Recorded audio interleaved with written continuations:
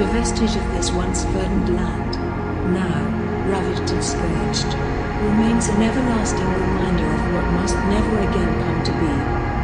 It is the last frontier we must cross before reaching Mekiva, though it is not without great peril. Creatures transformed by the virulent wreckage of the Setsu now inhabit this abominable plain. And I dare not mention the true horror that awaits us beyond.